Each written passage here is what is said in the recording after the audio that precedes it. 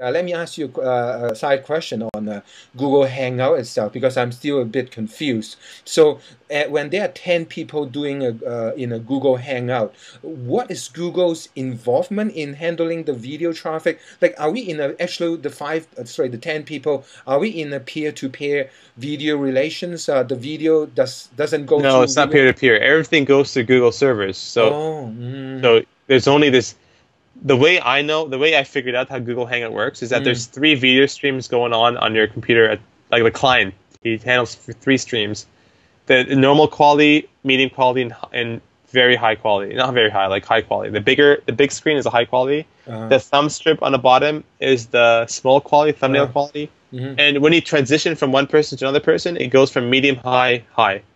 You know, medium, it transitions. High.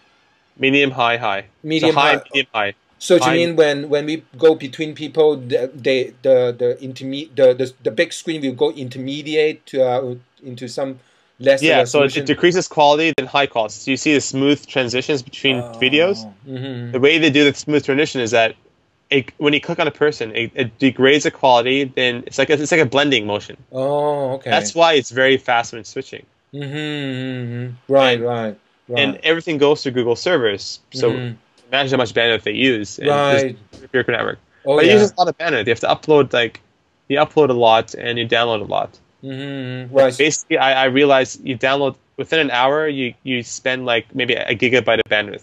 Oh. Seven, a gigabyte of bandwidth. Mm-hmm. In Canada, it's really bad for us because we have limits. Mm-hmm. I have Rogers Telecommunications, and there's limits on it. Mm-hmm. And I always, I go over my limits in a matter of one week. So mm-hmm. yeah, have they got to you yet?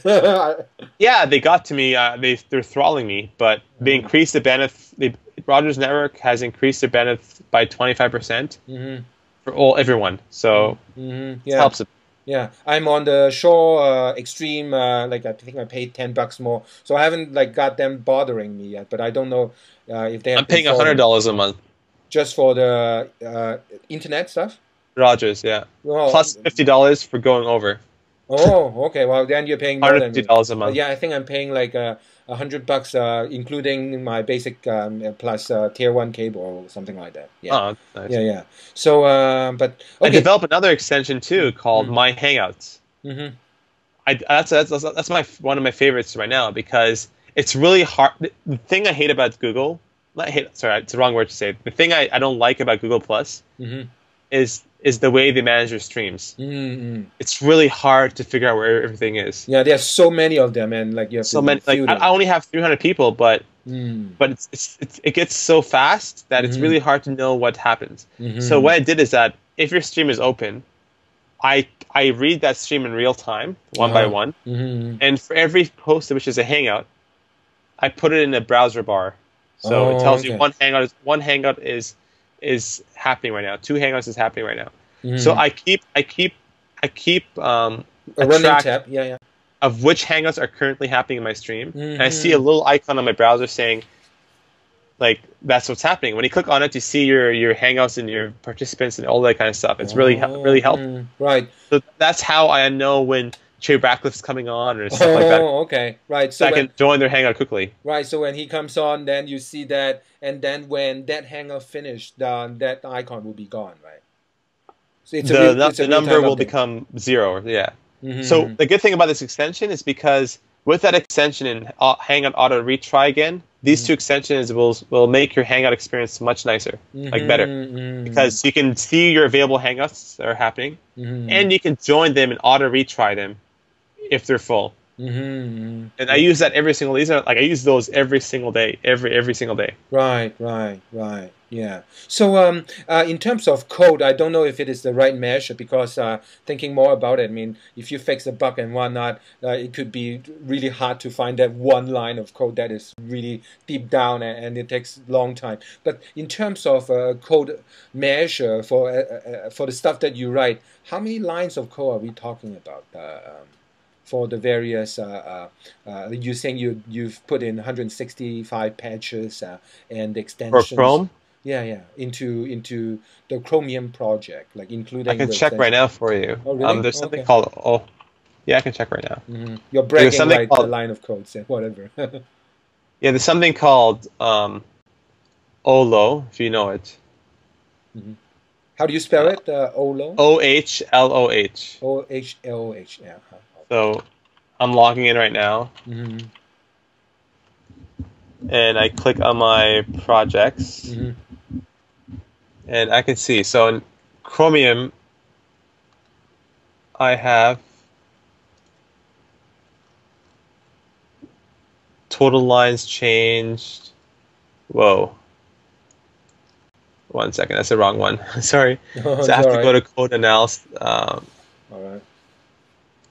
And then I, I want to uh, close on uh, the Chromium project uh, committer thing, uh, which uh, I, I, I look, I browse through the description. I think, wow, this is cool, but I want you to, to tell it.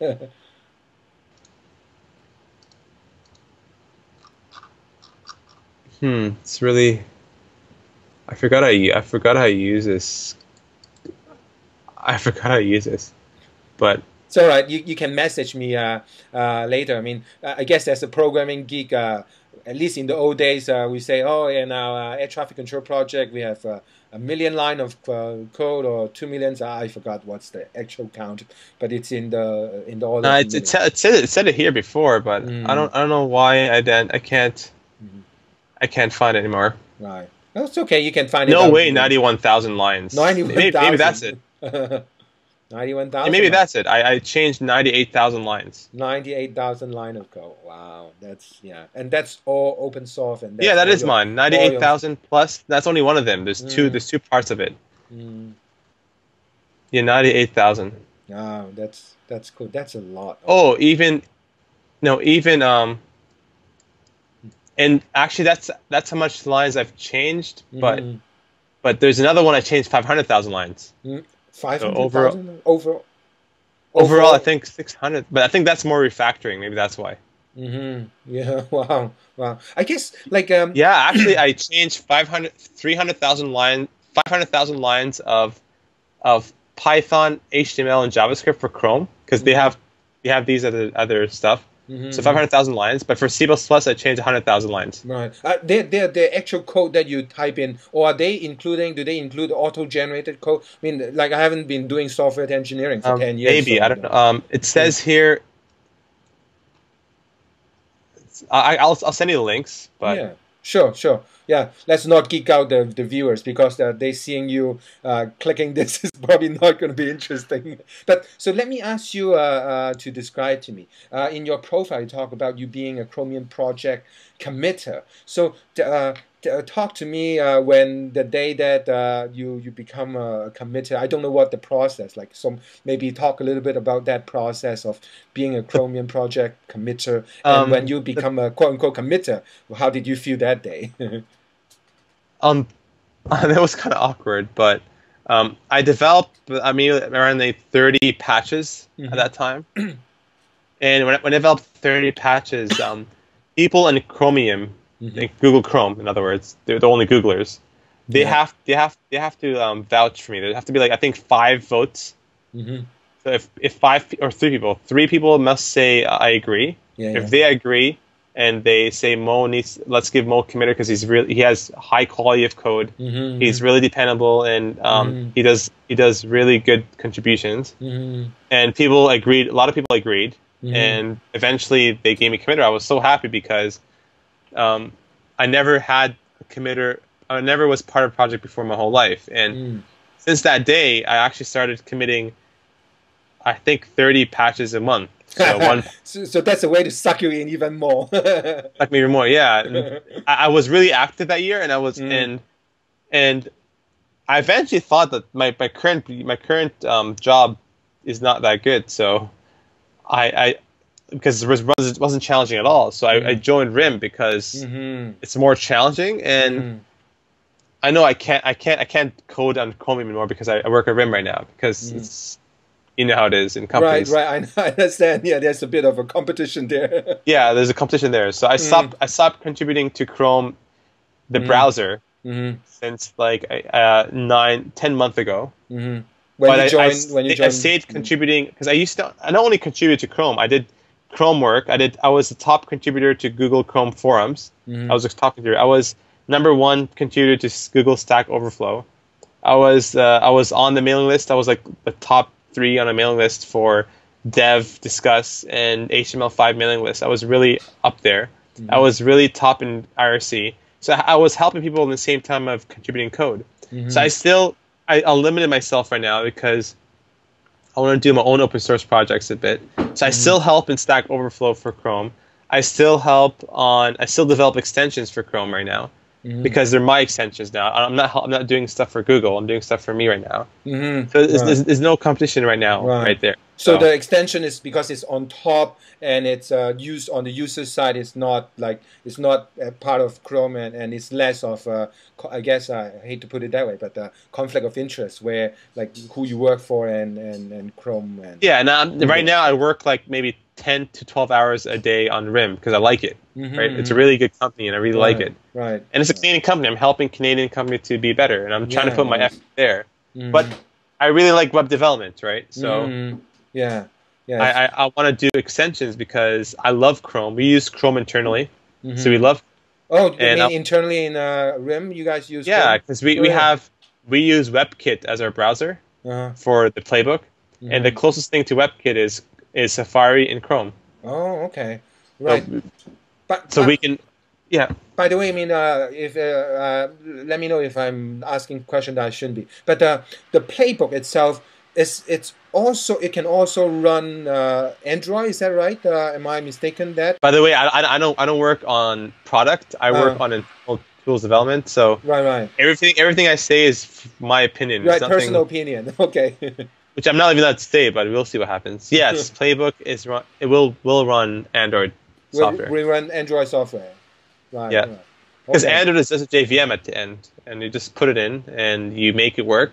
Oh. A lot of challenges to make it work, but mm. it's JVM is ja- the, the, Java Virtual Machine, right? So the Java Virtual yeah, Machine Dalvik. just run on uh, on top of the, the chip or the, the software layer. The Playbook is really powerful device. It runs mm. many languages. Mm. It's like a mini computer mm. which looks nice and sexy.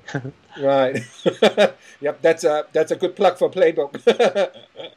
All right. Well, so I, I have taken uh, you more than uh, half an hour. I really really appreciate uh, talking to you today, uh, Mohamed, and uh, um, so uh, thanks a lot. No, thank thank you very much.